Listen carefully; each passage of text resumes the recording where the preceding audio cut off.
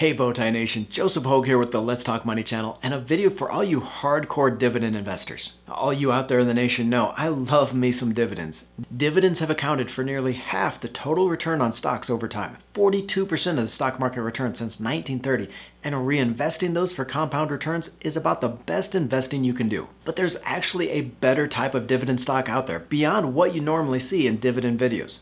Royalty trusts are special types of companies set up to hold an income producing asset and then pass all that income on to investors. And not only do these offer dividend yields more than twice the market average, there are a lot of other benefits here that make these an investment you need to check out. Now, these companies usually buy assets like an oil field or gold or a copper mine. Now, for this, the exploration company gets a one time payment for that percentage share of the production. The company continues to manage the asset, so drilling for oil on the fields or, or mining the gold reserves. Royalty trusts then have no employees. It's just a financial account that receives that percentage share from the exploration company and passes it on to investors. And because the structure is so simple here, there's really no financial statements to analyze. There aren't any of those accounting tricks that the company uses to make revenue look bigger or expenses smaller. It's just one income producing assets and the distributions. And nation, we could be starting on a commodity super cycle with prices for oil and other commodities already up double digits this year, making now a great time to talk about these royalty trusts as an investment. In this video, I'll explain royalty trusts as well as detail the pros and cons of these income investments. I'll show you the hidden tax benefits and then reveal five royalty trusts to buy for massive cash flow. We're getting started, but you know I've got to send that special shout out to all you out there in the nation. Thank you for spending a part of your day to be here. If you're not part of that community yet, just click that little red subscribe button. It's free and you'll never miss an episode. First in our royalty trust list is Gold Royalty Corporation, ticker GROY, a $236 million royalty company out of Canada. The company acquires royalty and stream rights and other interests in mines at different stages of the mining cycle for a more balanced portfolio. Now you're going to notice throughout this list that I've tried to include royalty trusts from different commodities, so not all just from that traditional oil and gas trust.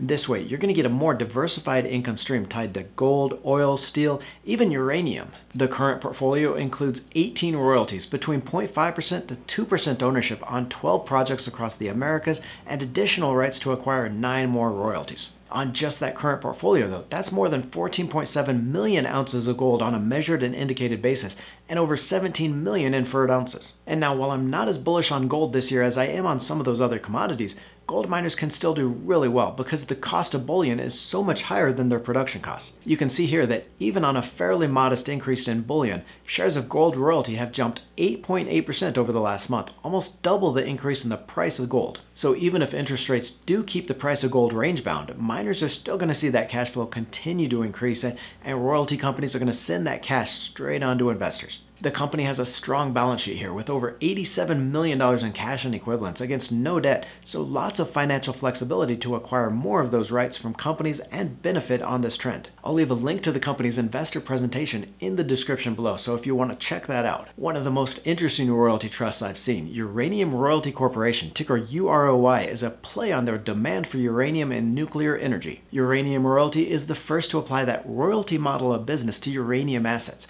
so it has that partnership interest in uranium projects, receives the cash flow, and then passes that on through investors through the dividend distribution. The company has a diversified portfolio across North America and in every stage of development from permitted projects, production, and exploration. Its partners include some of the largest uranium miners in the market like Cameco, Rio Tinto, and UEC. And here you can see how this is set up. For example, the company has a 9% interest and 1% gross overriding royalty in the McArthur River project run by Cameco in Canada. The project is licensed to produce 25 million pounds a year with proven and probable reserves of almost 392 million pounds. And now, like Gold Royalty, this one is still in the acquisition stage of its life, so it's a new royalty trust that can pay dividends for decades to come.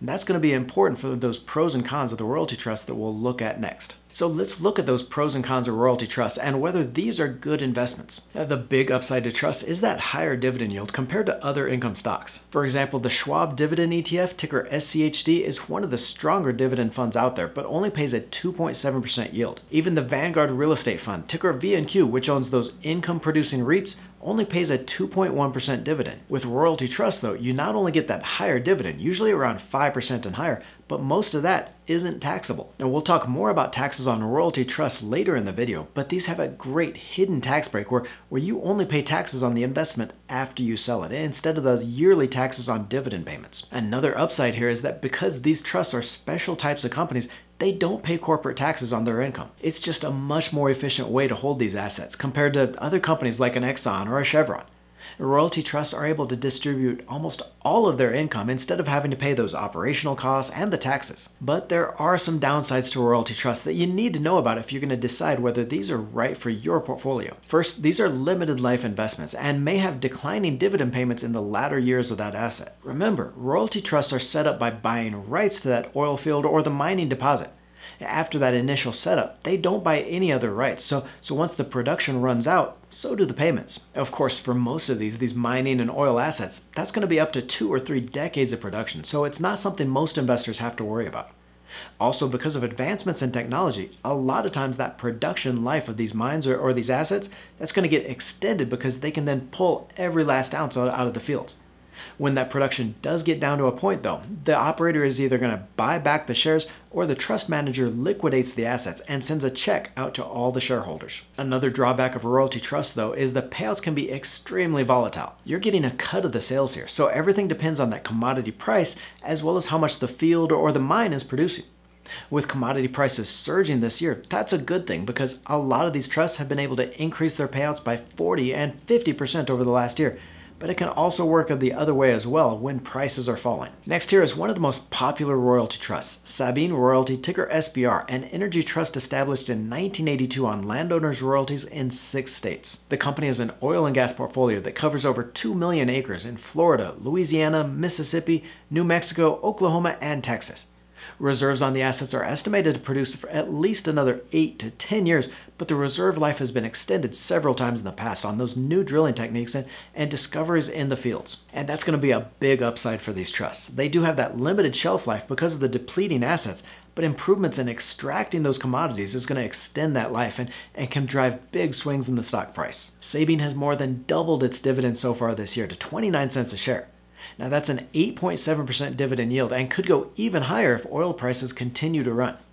Now, the OPEC group of countries ended its most recent meeting without an agreement to increase production. That has a lot of analysts calling for $100 oil by the end of this year. For more of that diversification, I wanted to include the Mesabi Trust, ticker MSB as well. Mesabi is a steel royalty trust with an investment in mines operated by North Shore Mining, a subsidiary of Cleveland Cliffs. Now, North Shore mines the ore, processes it into pellets, and then sends it off to Cleveland Cliffs and then pays Mesabi royalties based on the selling price. So Mesabi has no operational duties or costs here. It's just that trust structure that receives the royalties. That means the return here is going to be a function of iron ore prices, which are at multi-year highs, but still below the peak of 2008.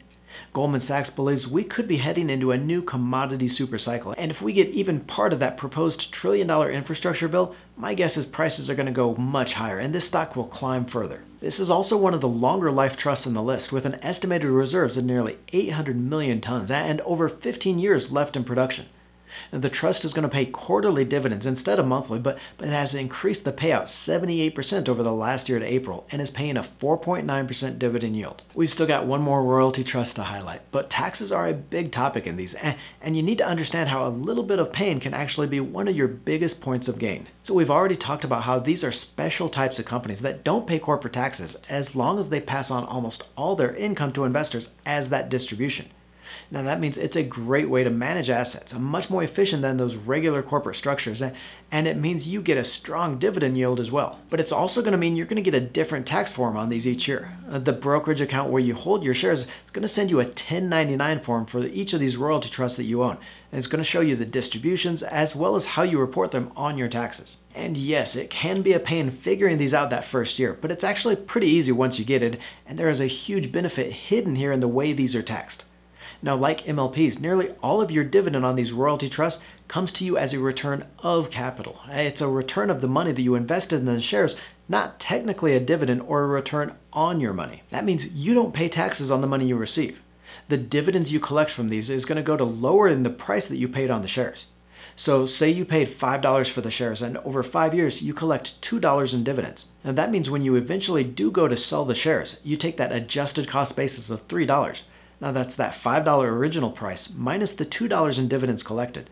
You take that when you're figuring the capital gains tax. That is going to mean higher taxes on the capital gains when you sell, but all that money is tax free while you're holding the shares. The Permian Basin Royalty Trust, ticker PBT, is another popular one here with one of the best upside potentials and dividends on the list. The trust includes 34 sites in Texas around that Permian Basin, which is a giant 75,000 square mile area in West Texas and, and home to the largest shale production fields in the country. The operator here, Burlington, is a subsidiary of ConocoPhillips, an excellent explorer and committed to extending the life of those assets. The trust was established in 1980 and has an estimated 8 to 10 years left in the reserves, but that's probably conservative considering the operator is spending $3 million in drilling improvements and, and redeveloping those fields. PBT has already increased its dividend by 63% this year to that June payment for a 4.1% annualized yield, and, and I think that could increase even faster on the lower yield compared to some of these other trusts. Click on the video to the right for the seven penny stocks that pay dividends, penny stocks that actually pay you while you hold the shares. Don't forget to join the Let's Talk Money community by tapping that subscribe button and clicking the bell notification.